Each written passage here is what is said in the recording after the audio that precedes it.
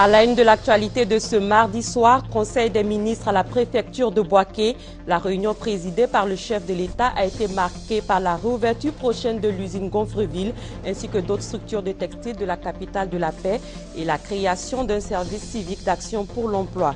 Célébration ce mardi 26 novembre de la Journée mondiale des enfants de la rue. Dans ce journal, nous irons à la découverte de l'univers de ces jeunes sans abri.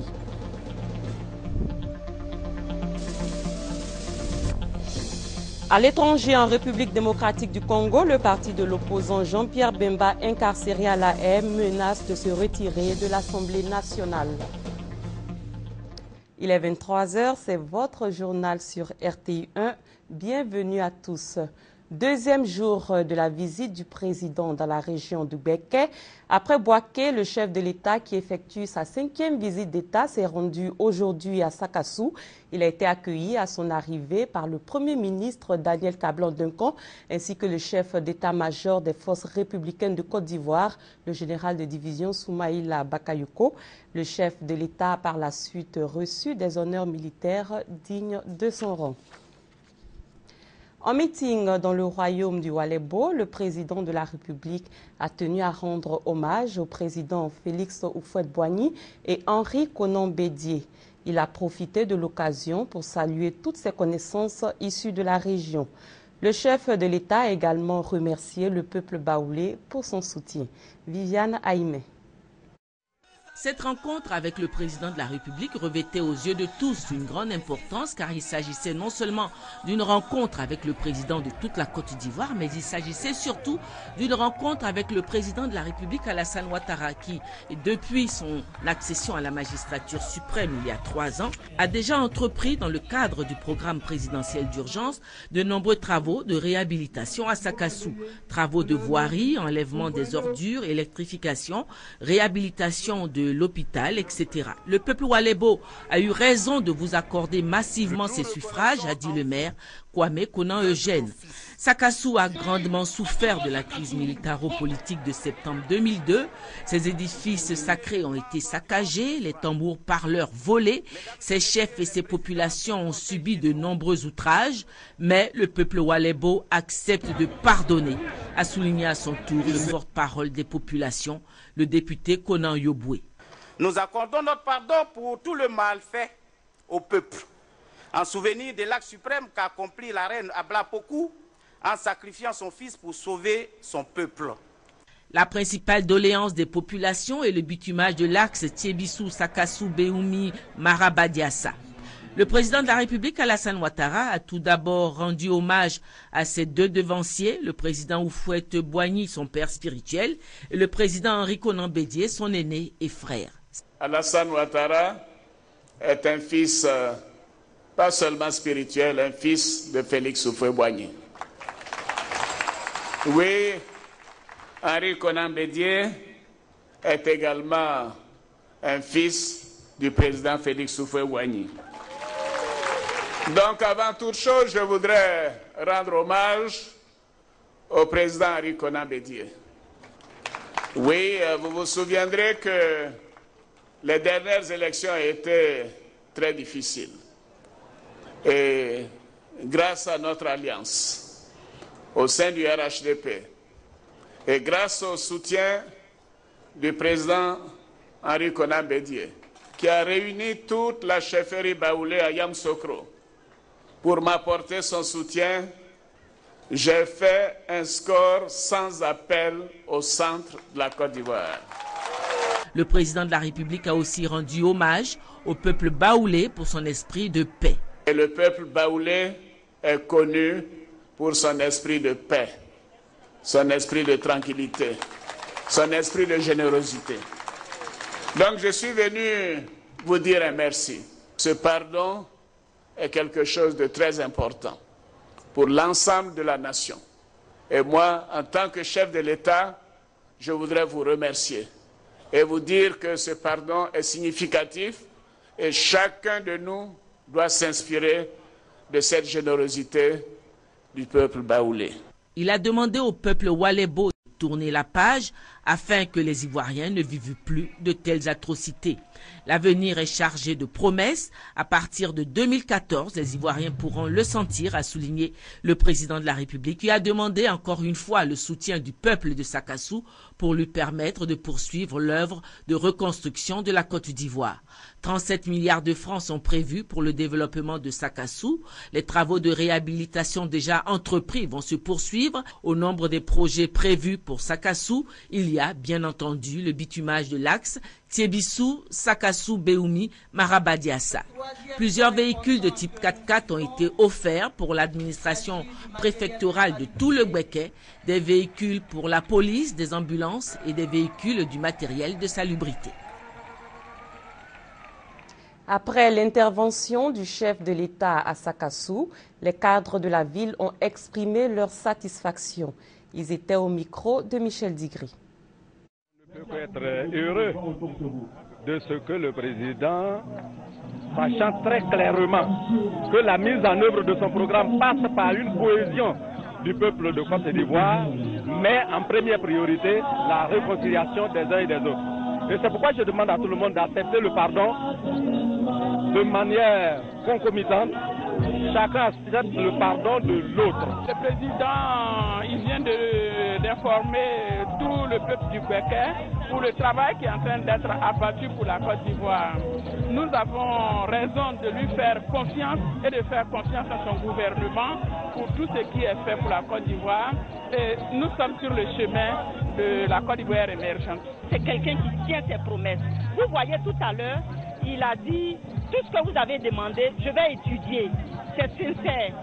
Parce qu'il ne faut pas venir dire oui, je vais vous faire ça, je vais vous faire ça.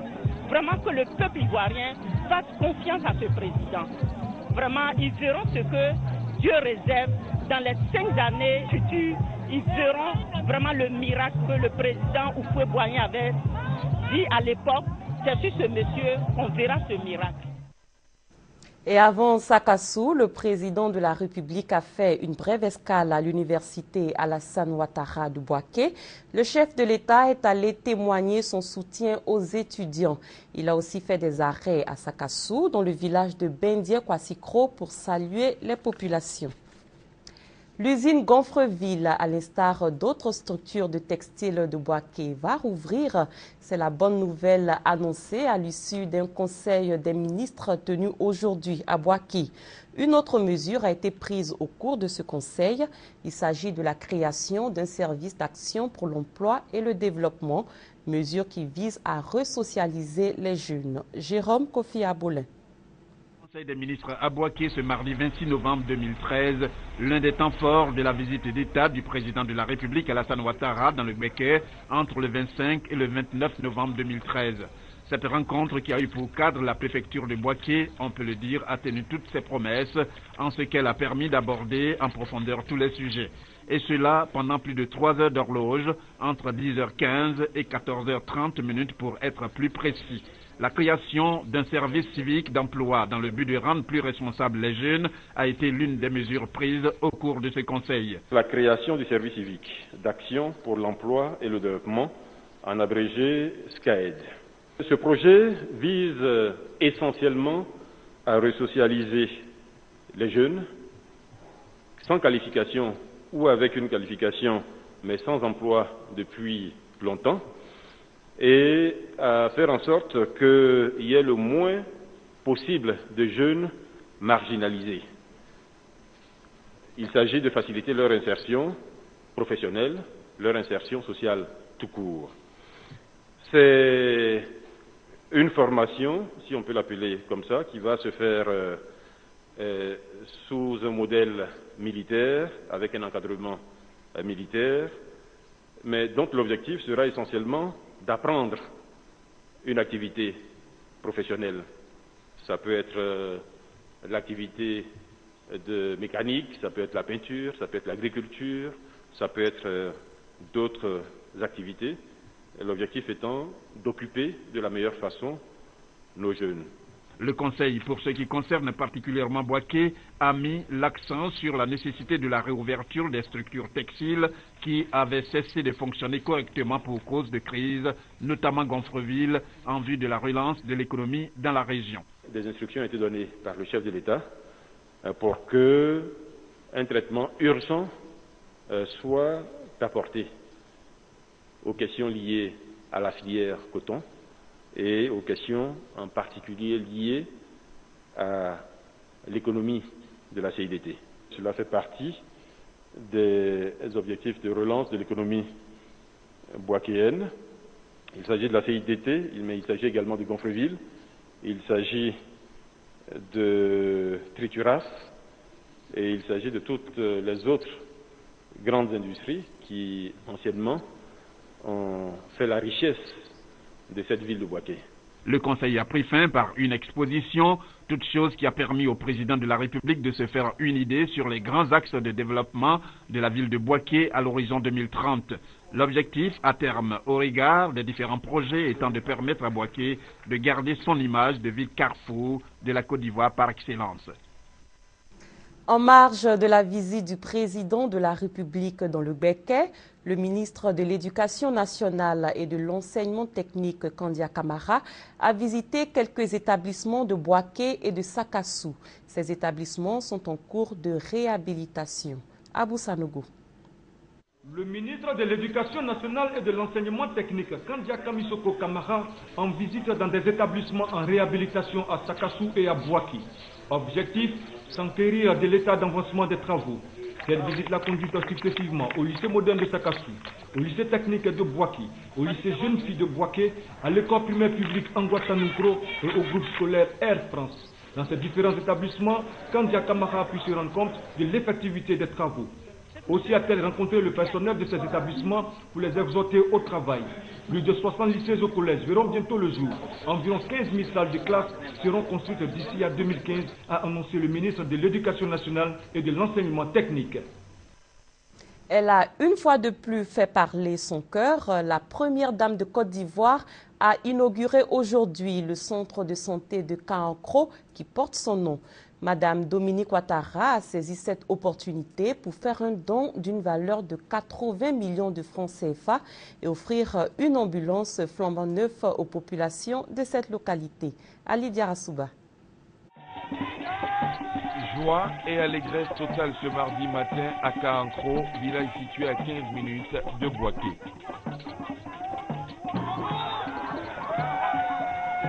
Ils peuvent bien exprimer leur joie, les habitants du canton Pléplessou, singulièrement ceux de Kaankro. Le village a enregistré la visite historique de la première dame de Côte d'Ivoire, Dominique Ouattara. Madame la première dame, grande est notre joie de bénéficier aujourd'hui du privilège de vous voir et de vous avoir avec nous.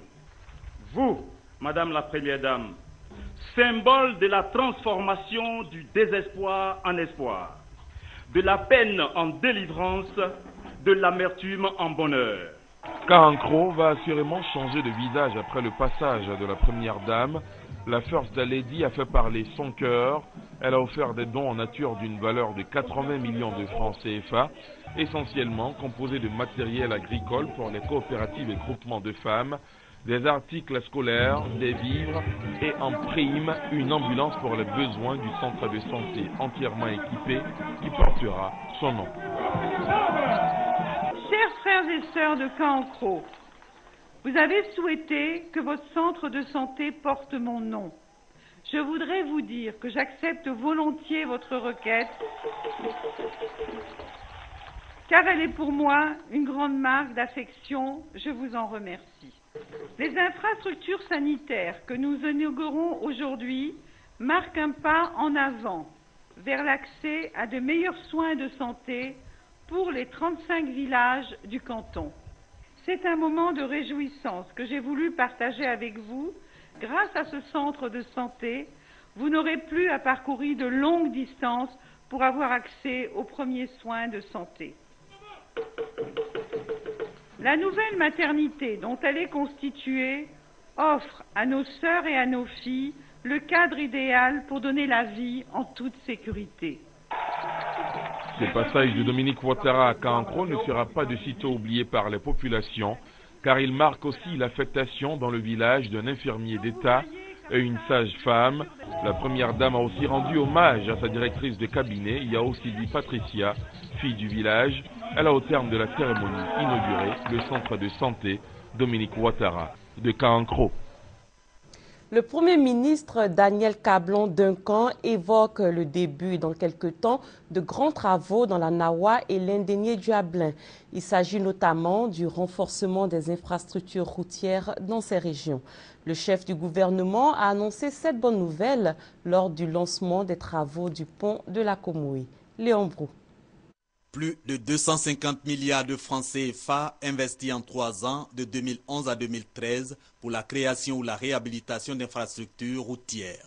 Les ponts Henri Bédier de la Maraoué, les échangeurs de la Riviera 2 du boulevard Valéry Giscard d'Estaing, les routes Abobo Niama et Bundiali Tengrela par exemple.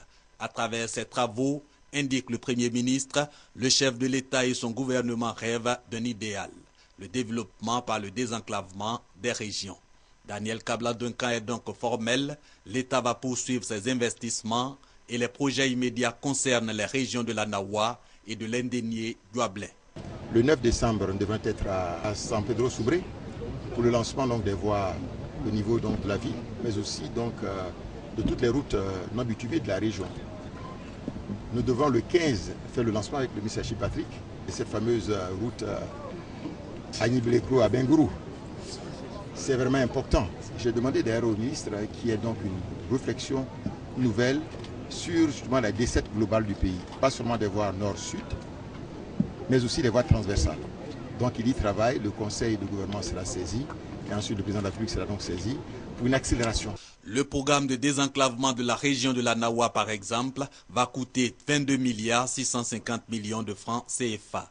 L'apport de l'État se chiffre à 13 milliards 650 millions de francs, le reste un financement de la Banque mondiale et de la France au titre du contrat de désendettement et de développement C2D. Dans l'actualité économique, 31 pays sont en conclave à Abidjan dans le cadre de la gestion des collectivités locales. Il est question au cours de la rencontre des enjeux financiers, de la décentralisation, du financement des collectivités locales et du rôle du comptable public et du système d'information du secteur public local. Adama Koni. La gestion financière des collectivités locales Tel est le thème du septième colloque de l'Association internationale des services du Trésor, AIST. Ce rendez-vous international des banquiers publics se tient au bord de la lagune Ébriée les 28 et 29 novembre prochains. Les 100 participants venant de 31 pays vont plancher pendant ces deux jours sur la maîtrise de la gestion des finances des collectivités locales. Il s'agit de parvenir à dimensionner l'action de développement des structures décentralisées aux réalités économiques de leur espace. Le fait étant que les collectivités locales ne maîtrisent pas totalement leurs ressources. En témoigne leur forte dépendance aux dotations de l'État.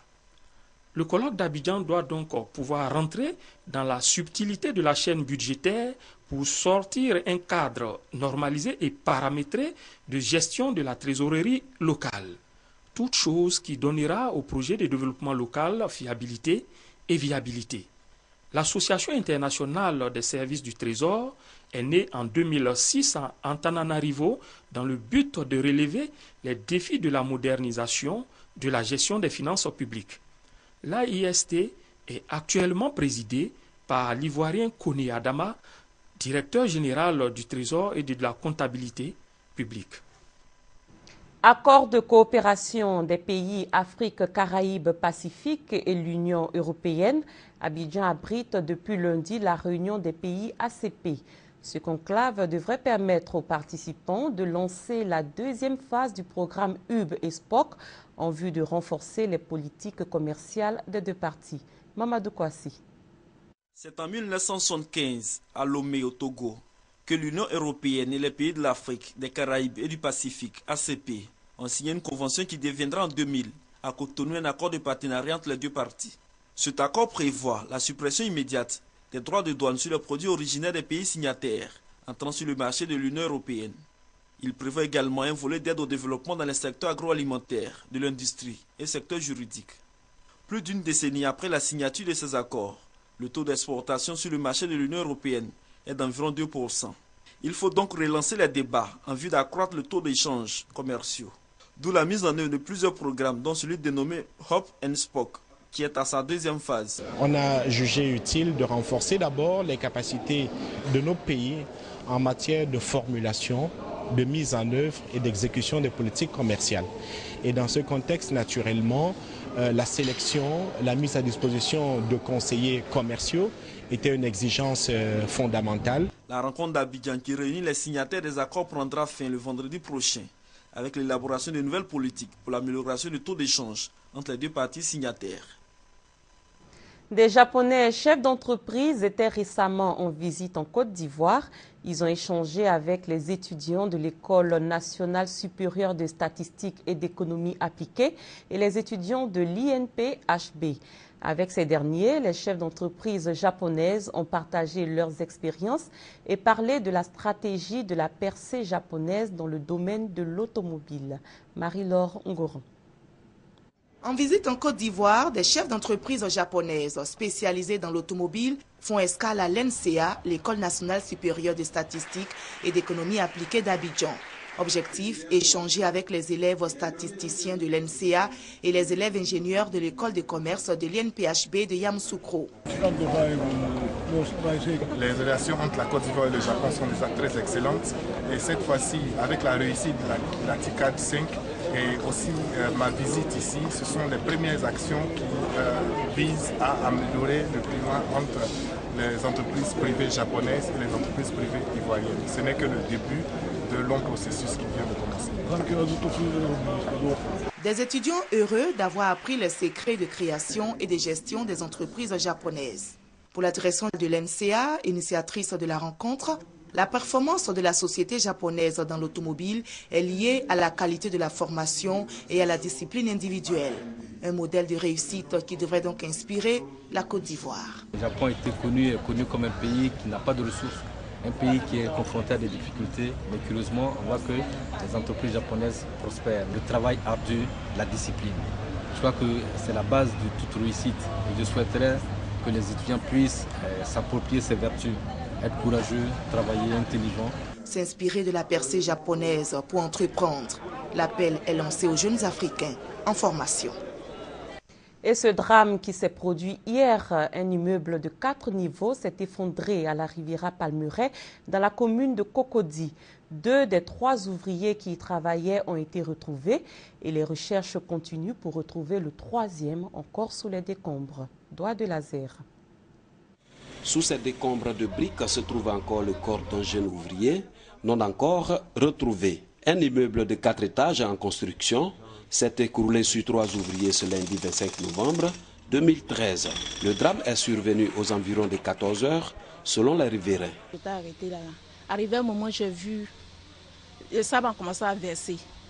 Donc j'ai regardé, pour moi, c'est quelqu'un qui entend une moto de ciment. Donc j'étais arrêté. Arrivé un moment, j'ai vu le bâtiment commencer à bouger. Moi, j'ai commencé à courir, j'ai vu les gens descendre du bâtiment aussi. Je vois les jeunes là, travailler, on se salue, tout ça là ça fait que ça nous fait mal. Matin, même là, on pleure seulement, vraiment. Ça fait que tu habites dans une maison, même là, tu as peur quand tu vois ces gens de cas là.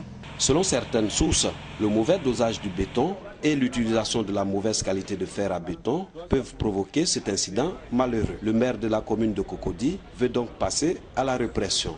Il doit y avoir des, techniciens qui construisent. Il faut qu'on nous dise, pour qu'on sache la vérité. On ne peut pas laisser la vie des populations en danger.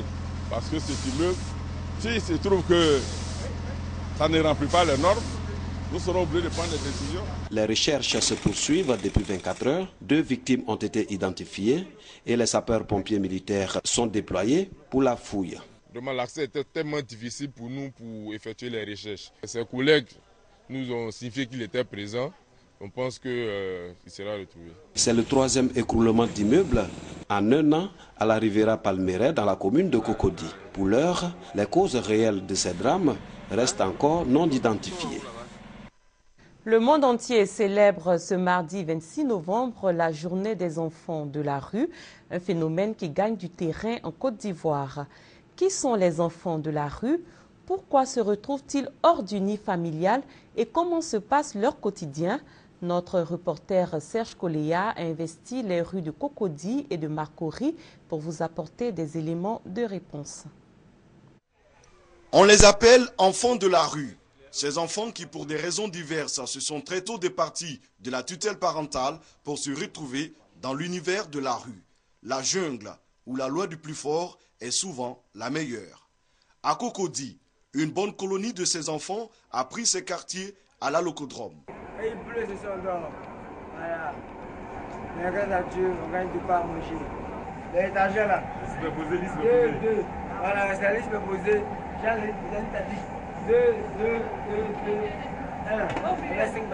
pour ces gamins, dont l'âge varie entre 7 et 19 ans, à chaque jour suffit sa peine.